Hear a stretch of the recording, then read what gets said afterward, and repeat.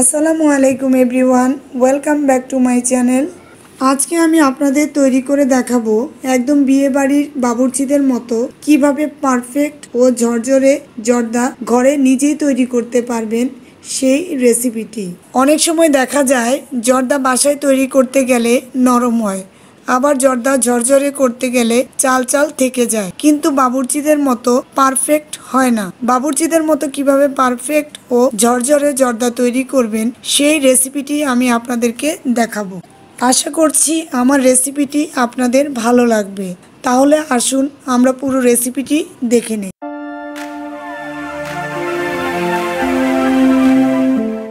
জর্দা তৈরি করার জন্য প্রথমে একটি হাঁড়িতে আমি পাঁচ কাপ পরিমাণ পানি দিয়ে দিলাম।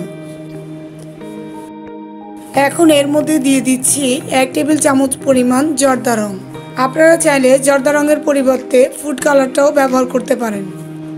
এখন আমি পানিটা বলক আসা পর্যন্ত অপেক্ষা করব। পানির মধ্যে বলক এসে গিয়েছে। এখন আমি এর মধ্যে দিয়ে দিচ্ছি দুই কাপ পরিমাণ বাসমতি চাল। চালটাকে আমি আগে আধা ঘণ্টা ভিজিয়ে রেখেছিলাম। এখানে আমি বাসমতি চাল ব্যবহার করেছি। আপনারা চাইলে পোলাও চালও ব্যবহার করতে পারেন। জর্দা তৈরি করার জন্য এখন আমি চালটাকে সাত থেকে আট মিনিট সিদ্ধ করব। চালটি এইটি পারসেন্ট রান্না হয়ে গিয়েছে। এইটি পারসেন্ট রান্না হতে আমার সময় লেগেছে আট মিনিট। এবার জর্দার ভাতগুলোকে একটি ছাকনির মধ্যে ঢেলে আমি পানিগুলো ছাড়িয়ে নিচ্ছি। এবার অন্য একটি হাঁড়িতে জর্দা তৈরি করার জন্য আমি দিয়ে দিচ্ছি দেড় কাপ পরিমাণ চিনি। মিষ্টি কম খেতে চাইলে আপনারা চিনির পরিমাণটা কমিয়ে দিবেন। দিয়ে দিচ্ছি এক কাপ পরিমাণ পানি। আরও দিচ্ছি চার থেকে পাঁচটি এলাচ। দিচ্ছি সাত থেকে আটটি লবঙ্গ। জর্দার মধ্যে লবঙ্গটা দিলে অনেক সুন্দর একটা ফ্লেভার আসে, তাই জর্দার মধ্যে লবঙ্গটা অবশ্যই দিতে হবে। এবার দিচ্ছি একটি তেজপাতা। সবশেষে দিচ্ছি এক কাপ পরিমাণ ঘি। ঘিটা আমি আগে গলিয়ে নিয়েছি। আপনারা চাইলে ঘিয়ের পরিবর্তে অর্ধেক তেল, অর্ধেক ঘি ব্যবহার করতে পারেন। এবার আমি সব কিছু ভালো করে মিশিয়ে নিচ্ছি। এবার আমি রান্না করে রাখা জর্দার ভাতগুলো এর মধ্যে দিয়ে দিচ্ছি। এবার আমি জর্দাটাকে আলতো করে নেড়ে দিচ্ছি।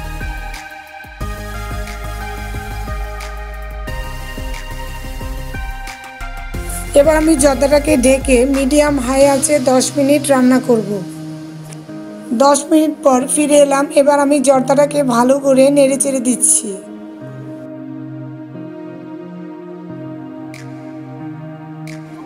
এবার দিয়ে দিচ্ছি কিছু পরিমাণ কিশমিশ সাথে দিচ্ছি কিছু পরিমাণ মোরব্বা। আরও দিচ্ছি কিছু পরিমাণ বাদাম কুচি। এবার সব কিছুকে ভালো করে মিশিয়ে নিচ্ছি।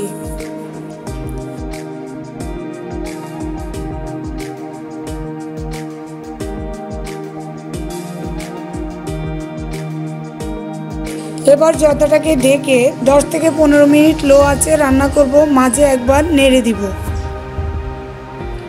পনেরো মিনিট পর ফিরে এলাম। এখন দিয়ে দিচ্ছি এক চা চামচ পরিমাণ কেওড়া জল। এখানে কেওড়া জলটা ব্যবহার করলে জর্দার মধ্যে শাহি একটা ফ্লেভার চলে আসবে। এবার আমি জর্দাটাকে আরেকবার নেড়ে দিচ্ছি।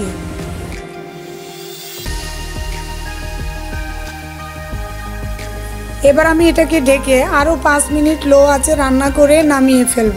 পাঁচ মিনিট পর ফিরে এলাম, আমার শাহি জর্দা রান্না হয়ে গিয়েছে। এবার আমি জর্দাটাকে সুন্দর করে ডেকোরেশন করব। জর্দাগুলোকে এখন আমি একটি সার্ভিং ডিশে নিয়ে নিচ্ছি।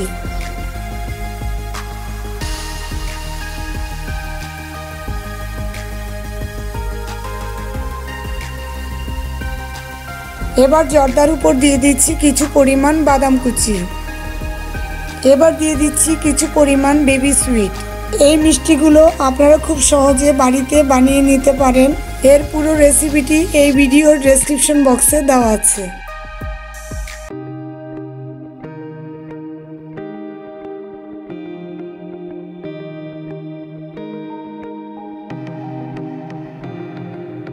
তৈরি হয়ে গেল শাহি জর্দা। আমার এই রেসিপিটি আপনারা বাসায় অবশ্যই ট্রাই করবেন এবং আমার রেসিপিটি যদি আপনাদের ভালো লেগে থাকে, তাহলে লাইক শেয়ার ও সাবস্ক্রাইব করবেন। আজ এ পর্যন্তই। আল্লাহ হাফেজ।